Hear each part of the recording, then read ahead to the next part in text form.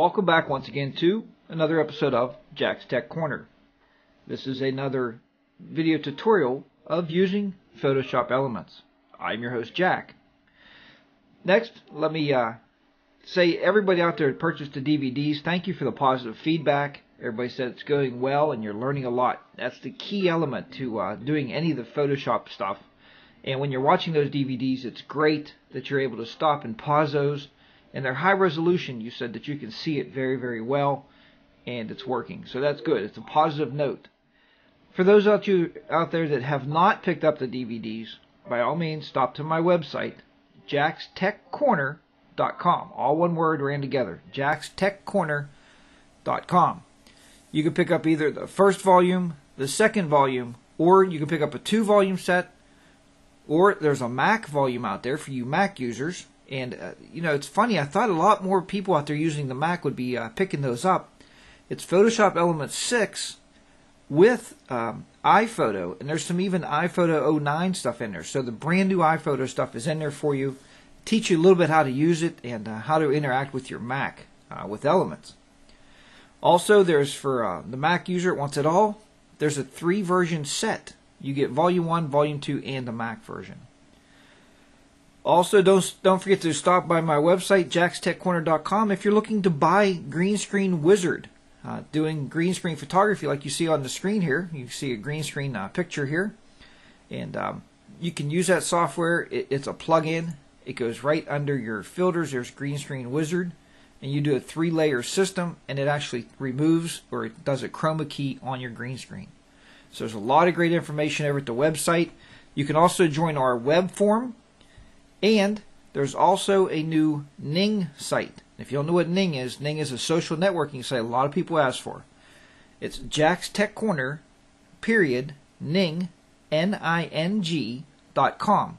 Go there and sign up. There's forums. You can. I want you to post your pictures there so I can see what you've been up to.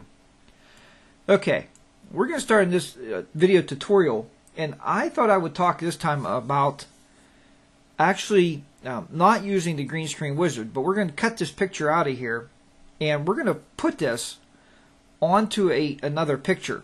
And I know I did this before called picture in picture, but I had a few people email me when they're doing this procedure and said, Jack, it looks fake. It looks like I pasted somebody into a picture. And granted, that depends on your background. You know, if you got a wild background, you paste somebody in there, it probably won't look real. But we're going to try to blend this the best we can. I'll try to pick out a background I'm not going to use the green screen wizard. We're just going to use this uh, picture here, and we'll cut the person out and pull them over onto an, another picture background, and then I'll show you how to kind of blend that in to make it work for you. Okay, so we have this up. Let's go ahead and go back to my organizer. We are going to go to backgrounds, and I don't want a standard background. Going to go down here to tropical backgrounds we're going to look for a tropical background here to uh, put this in. And like I said, sometimes if you take that person and put them out in the middle of the ocean, it's probably not going to look too real, right? I mean, that's just not going to work for us. But we want a background that's a little busy so I can show you how to do a little blending. We're going to take this background right here. Let's throw that up in the editor. Okay, we have it in the editor right here. We're going to fit it to the screen. And now we're going to use this uh, actual picture right here. And what I'm going to do this time, instead of using a green screen wizard, we're going to use our quick selection tool. Make sure we're on plus here. And I'll up the, uh, I'm going to up the brush size here just a little bit. And uh, up the brush size. And we'll just make a quick selection. All right.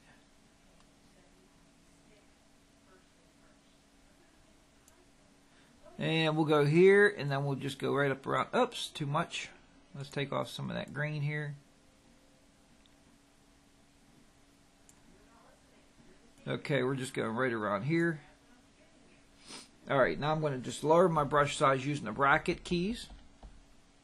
And we'll just go right in here just a little bit. Just to tighten that up a little bit. Okay, now there's a few ways we can do this. We have it selected. So you can actually invert this and delete the background. I think that's what we'll do. Or you could just simply go edit now. You can copy it and you can paste it over there. But I kind of like to do the inversion. So we have that selected. We're going to select inverse, duplicate the layer, right?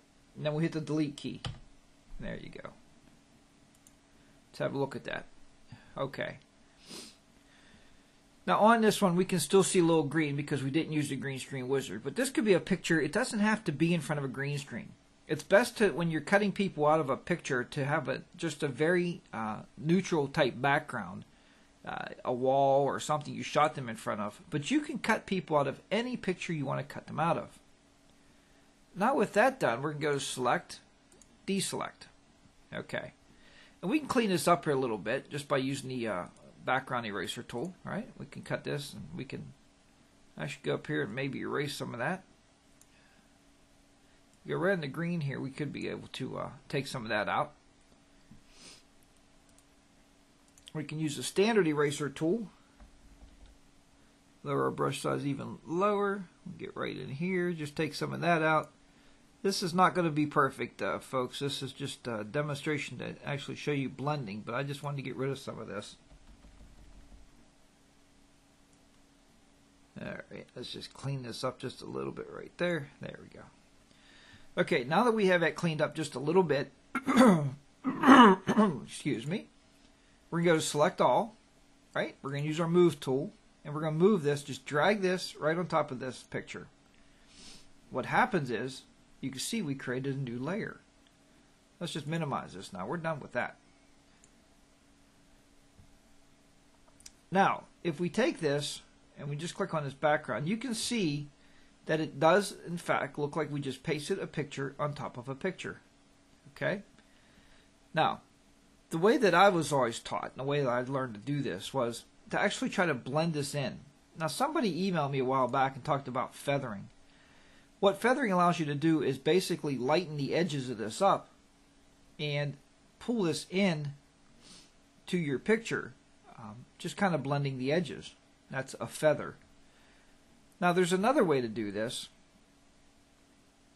And we are going to use right here. It's called the blur tool. Now what the blur tool allows us to do is blur the edges down. So if you just get right over the edges,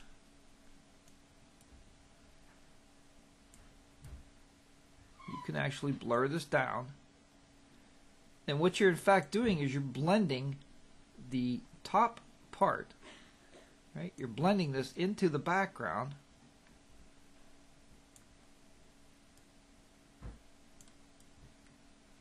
Because you see we're on the layer we're working on. We're on the layer we pulled into this. We're not blurring out the background. We're just blurring out the edges of the person that you actually pulled into the picture itself. You just want to do this on the edges so you're blurring everything in. That way you're kind of blurring it to make it look more like it's part of the picture. That's the important thing here. There you go. Now you kind of blurred that in. Now, the last part I like to show you about blending is the lighting effect. Because sometimes you have a well-lit background here and not a well-lit a well-lit subject. So what happens is it's going to almost look that this was taken somewhere else. So to get it well lit, remember we can go here, right? We can go up here to our um, create adjustment layer, and we're going to go to levels, and just close this first. And on this level with it selected, do a Control G. You know, that's like one of my favorite uh, key combos there is Control G. What that does, it groups it with this layer. So when we're working with our levels of the person, we're not changing the background. Good. Then go and double click on your levels. Then start working these levels in and out. See, that's going to darken it too much. Let's try to lighten it a little bit.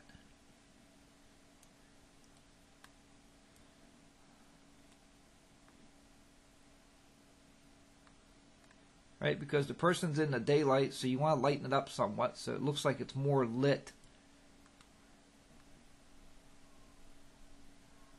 Without blowing it out. You don't want to overexpose everything. So just raise these very slowly until you get it to the point where it's pretty well lit. And click OK. Now you can see the person's more well lit, it looks like she's out in the sunlight, right? Because here's the sun, and it looks like she's out in the sunlight. So it kind of looks more natural.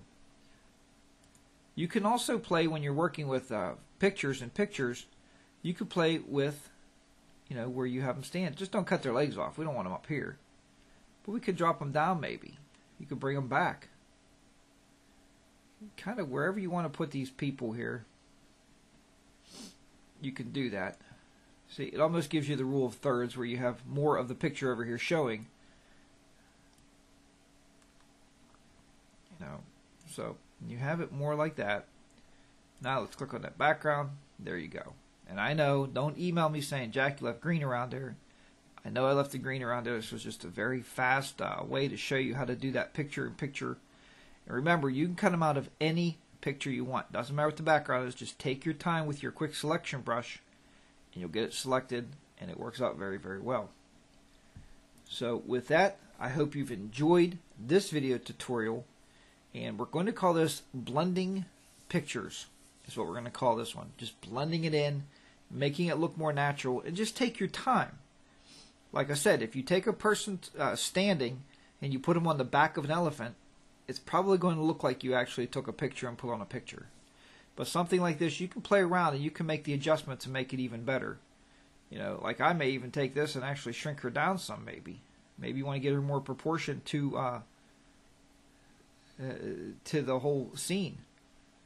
So you may want to do something like this, you know, like she was standing outside, or just bring her up like she was standing in the back, you know, or, or working the uh, backdrop. So any way you look at it, there's a lot you can do there. Hope you've enjoyed this video tutorial. Until next time, keep those shutters clicking, keep the editors editing, and I'll see you back here very soon. Bye for now.